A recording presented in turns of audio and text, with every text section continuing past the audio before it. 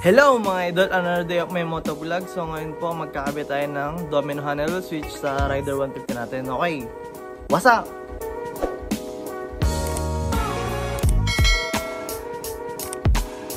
So ngayon mga idol magkakabit tayo nito, Honeywell switch. Ito po yung passing light. Kill switch mga idol pero gagawin na natin itong patayan ng ilaw. Kasi ito po ay high and low lang. So pag binuhay yung motor, bukas na agad ang low nyo. Tsaka yung park light. So gagawin natin itong patayan ng ilaw mga idol. Tapos ito naman hazard mga idol. Ito, signal light, busina, at saka itong starter natin mga idol. So nagtataka kayo bakit ganito yung wiring natin kasi mga idol kasi mga idol minarapat po nating ulitin tong video na to kasi sa kasamang paladis na sira yung camera natin mga idol so dapat na i-upload natin to agad-agad nung isang araw pa or nung isang linggo so pasensya na po kayo ngayon lang po ulit tayo nakapag-upload so ma mabalik tayo mga idol kailangan yung alisin tong tatlong to Kasi mga idol, may puputulin tayong wire sa loob. Yan, natanggalin natin yung tatlong screws. Tatanggalin nyo din tong tornilyo na to. Ito, ito. Tatanggalin nyo din to mga idol. So, yan mga idol. Pag natanggal nyo na yan, dito mga idol, sabay bandang sumisigna light. Ito mga idol. Makikita nyo ba to nasa dulo na to? Itong wire na to, susunsurin nyo lang yan mga idol. Nasa dulo mga idol kulay pula na may itim mga idol. So ito, magkakasama po itong tatlong to mga idol. Magkakasama po ito, magkakatap yan mga idol, itong tatlong yan. Itong pula na to. So pinutol ko po itong isa na nasa dulo mga idol. Tapos, itatapan nyo po siya ng wire. So kailangan po natin ng wire mga idol. So tatapan po natin siya. So magkakaroon siya ng kanyang sariling wire mga idol. Hindi na siya kasama dito sa dalawang to. So yun, bubuuin ko na to ulit mga idol tapos kakabit na natin sa motor. So nga bago nga pala lahat mga idol, kailangan nyo po pala ng diode. 6 ampere diode to mga idol. So pasensya na po kayo ulit. Bakit po ganito yung diode natin? Kasi naikabit na po natin to. Na i-video ko na po ito. Sa kasamang paradis na sira nga lang po yung cellphone natin. So ang gagawin nyo mga idol, 6 ampere na diode. Tapos kung mapapansin nyo dito, sa diode na to, parang may white siya dito may white siya sa gilid. Tsaka po ito, may white sa gilid. So, yung walang white sa gilid, walang mark markings, pagkasamahan nyo yung walang markings mga idol, tapos yung may mga markings sa gilid na ito, yung may mga markings na yan, ito magkahiwalay kasi may ilalagay tayong wire dito mga idol. Gagamitin natin to sa hazard. At ito nga po pala mga idol yung stock switch natin. So natanggal ko na sa motor natin. Tapos pinutol ka na dito. Kasi mga ito gagamitin natin yung stock socket natin. At yun ay duduktong natin sa domino natin mga idol. Duduktong natin siya dito. So dito naman tayo mga idol sa wiring natin. So unahin natin ang yellow at brown. So ito po, yellow at brown mga idol. Putulin nyo na po yan. Kasi hindi po natin siya gagamitin. Pampagulo lang yung mga idol. So yan, yellow at brown mga idol, naputol na natin. So hindi natin yan gagamitin. Tapos ang yellow at red, ito mga idol. At saka itong blue na may red na wire. Ito po ang starter natin sa Honeywell switch. Tapos po ang orange, ito mga idol, orange at saka itong white. Ito po ang passing light natin mga idol. Itong wiring ng passing light. So, sige mga idol, balik na lang mamaya lalagyan ko na lang muna mga idol ng tags para wala na tayong maging problema.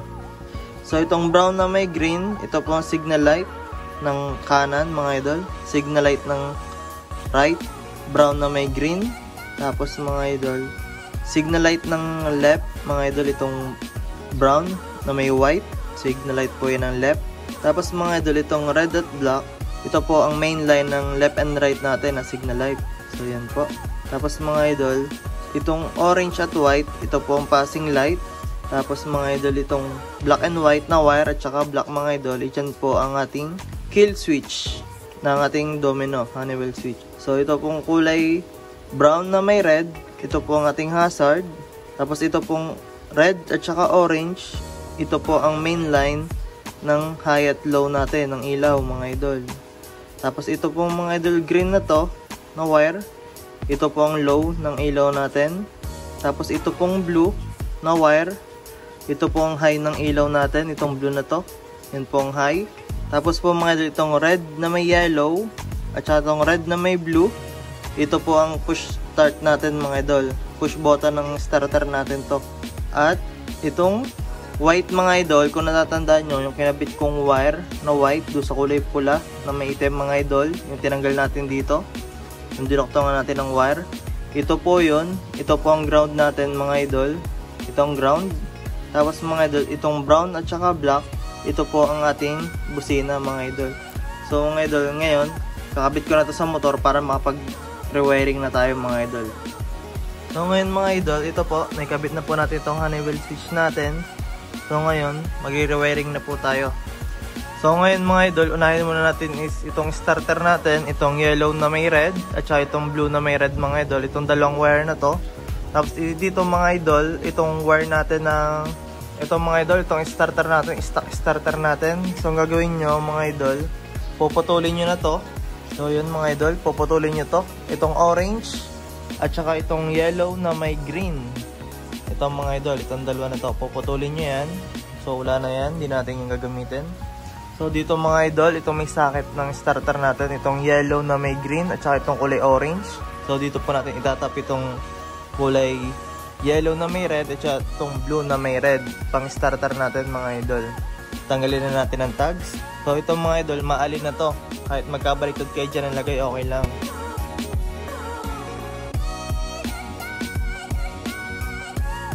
So, itong mga idol, itong may red na may blue at itong red na may yellow mga idol dito sa starter natin. So, titipan ko na yan. Dito nga pala mga idol, muntik ko na makalimutan, pag pinutol nyo yung stock, ano nyo, switch nyo mga idol, ititira nyo itong dalawa na to. Itong mga socket natin, so mag-iwan lang kayo mga idol ng ganito kahaba na wire. So ngayon mga idol, unahin mo natin is itong signal light ng right mga idol. Itong brown na may green. Itong may brown na may green, i-connectan nyo po siya dito sa light green ng motor natin. Tapos mga idol, itong brown na may white, ito po ang signal light natin ng left. So itatap natin siya sa black wire ng motor natin. Ito mga idol, black wire. Idol, meron na tayong signal light ng left at, at right. So mamaya ko na po yung mga idol kasi may mga ikakabit po po tayo dyan dahil ng ating diode para sa hazard natin mga idol. So ngayon naman mga idol, doon naman tayo sa hazard. Ito mga idol. Itong brown na may red, ito po ang hazard natin. Yan. Ito po mga idol, brown na may red. Ito ang hazard natin. So kung natatandaan nyo mga idol, kailangan po natin gumamit ng diode para sa hazard. So magpapakita na ako ng picture ng diode dito. Papakita ako ng picture ng diode dito para alam nyo po yung diode na 6 ampere kasi mukhang hindi nyo na makikilala sa itsura nito ngayon. Kasi naikabit ko na po ito. Kailangan lang natin talaga magawa ng panibagong videos mga idol. So yun. So dito mga idol, pagkasama yung diode mga idol na walang markings. So pagkasamahin nyo po itong dalawa na to, ito po yung dalawang walang markings. Tapos ito may mga markings mga idol dito po natin i-connect yung left and right po na signal light natin. Ito pong hazard wire natin na red at brown mga idol. So dito po natin i-connect sa pinagsama natin na diode. Yan, dyan nyo po ipagsasama mga idol. Tapos po, ito pong dalawa nito, sa left and right po natin siya itatap. Dito po sa brown at white ng signal light ng left at saka po sa black wire ng motor natin. So dyan po natin itatap yan mga idol. So pagkasamahin po natin to mga idol. Tapos po itong isa mga idol is dito sa signal light natin ng right. Itong brown na may green at saka ito pong light green ng motor. Dito po natin ilalagay yung isang diode. So yan mga idol. Natipan na natin. Tapos mga idol, itong green ng wire ng Honeywell switch natin, i-connecta po natin siya sa white wire ng motor natin. Ito mga idol. I-connecta po natin siya dyan. Tapos mga idol, itong blue natin na wire ng Honeywell natin, ito po ang high. I-connecta po natin sa yellow wire ng motor natin. Yan po ang high natin. So mamaya ko po yan titipan kasi magtatap po tayo dyan mamaya ng pang passing light. Pero natipan na natin tong low mga idol. Pasensya na po sa pagwa-wiring ko sa electrical tape po. Tapos mga idol, itong red na may black na wire na Honeywell po natin, ito po ang main supply ng left and right natin na signal light. So dito po natin siya itatap sa light blue ng wire ng motor. So itatap po natin siya dyan. Itong white wire ng domino switch natin, itong nilagay nating wire kanina, kung natatandaan nyo, dito po natin siya itatap sa kulay black ng motor. Black and white ng motor. Ito po ang ground. Itatap po natin siya dyan.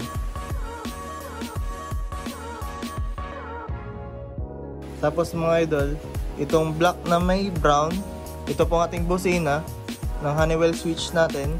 Dito po natin itatap sa kulay green wire ng motor natin.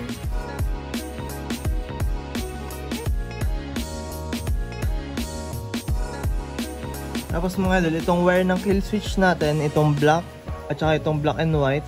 Itong black lang mga idol, pure black na wire ng kill switch natin. Pagkasamahin natin ng pagkasamahin po natin ng red at orange ng main supply ng high and low natin. Ito mga idol. Itong kulay orange na may red, ito po ang main supply ng high and low natin na ilaw. So pagkasamahin po natin itong dalawa, itong black at saka itong red at orange, pagkasamahin po natin silang dalawa. Tapos itatap po natin dito sa gray wire ng motor natin. Kasi po, ito po yung sa switch ng ating park light at saka low beam mga idol pag Rider 150 para ipatayin tayo ng ilaw. Ito mga idol, itong kill switch wire natin, itong black na may white at saka ito pong sa passing light natin mga idol na white wire. Pagkasamahin natin itong dalawa. Tapos mga idol data po natin sa wire ng motor ng yellow at white. Pagkasamahin po natin silang tatlong mga idol. Kung mamaya yung kulay orange. Ang last natin mga idol is itong kulay orange wire ng passing light. So dito po natin siya i-connecta sa high ng ating switch mga idol sa kulay blue ng Honeywell switch at saka dito sa kulay yellow ng motor natin. So ito po yung high ng ilaw natin. So tanggalin ko na si tag at kasamahin na natin itong dalawa. So yan mga idol. So yan mga idol. So ngayon po, ilinisin ko na tong wire natin. Titipan ko na to mga idol. So ito, okay na siya mga idol. Natipan ko na yung mga wiring natin. So ngayon, ikakabit ko na po si headlight para matesting na natin. Nga pala mga idol, para gumana yung hazard nyo, kailangan nyo din magpalit nitong flasher relay natin. So bumili ako nitong flasher relay. 50 pesos lang yata bili ko dito. So kailangan nyo pong magpalit ng flasher relay mga idol. So hindi kaya ng original yung hazard natin. So kailangan nyo magpalit. So yan mga idol, okay na. So ngayon mga idol, tatestingin na po natin itong switch natin kung uh, nagana nga ba. So unahin po natin dito sa hazard natin. So yun, nagbibilink po yun. So yan mga idol, nagana naman. Sunod po natin is itong left.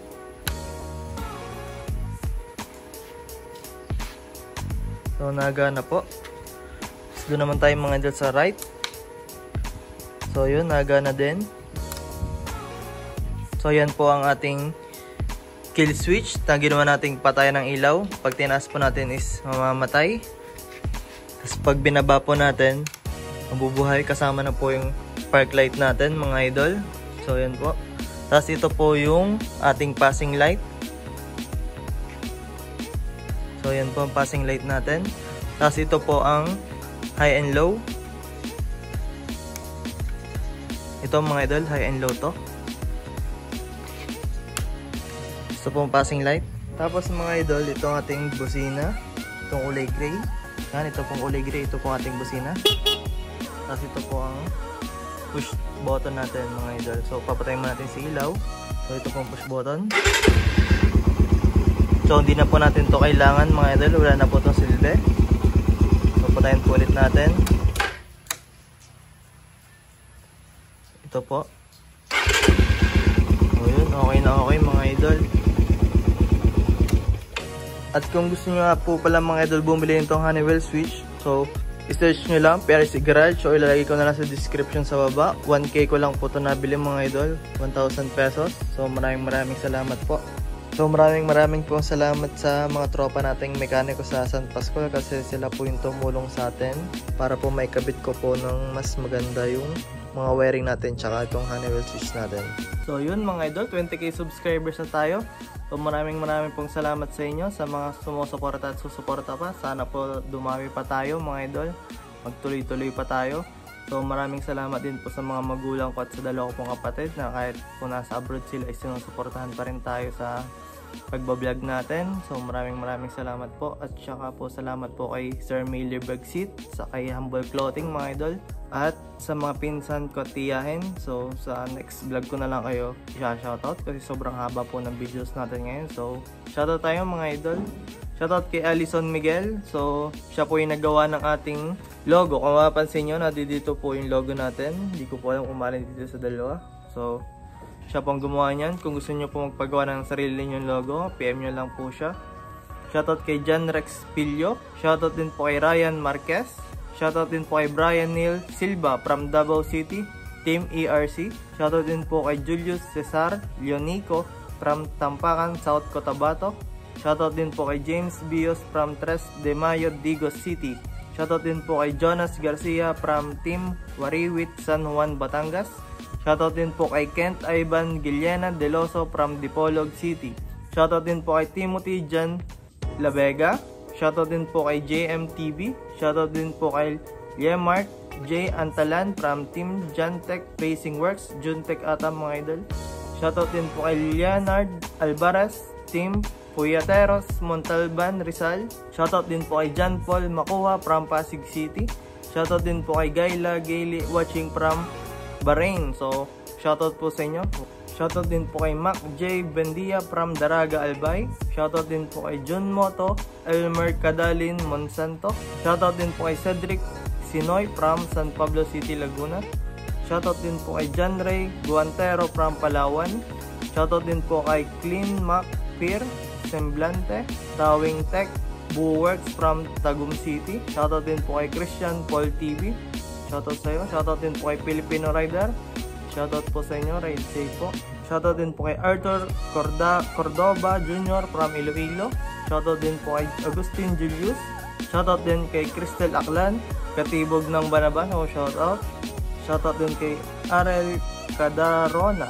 Shoutout din po kay Erwin Brian Bantilan Jr. from Dumaguete Negros Oriental. Shoutout din po kay John Espina, Batangas Barsitarian from Nasugbu, Batangas. Shoutout din po kay Rafael Rectin, Archie Rectin from San Juan, Batangas.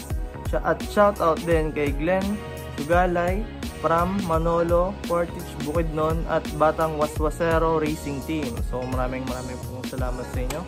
So sana po nagustuhan yung video natin. Please like, share, comment, and subscribe. At huwag nyo din kalimutan pindutin ang notification bell para update kayo sa mga susunod kong videos. I'm out!